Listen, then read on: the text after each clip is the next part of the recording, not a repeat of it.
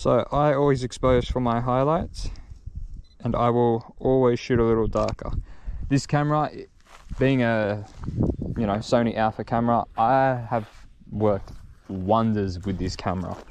In the low light conditions, it is just absolutely amazing. I also use the CPL for the sky.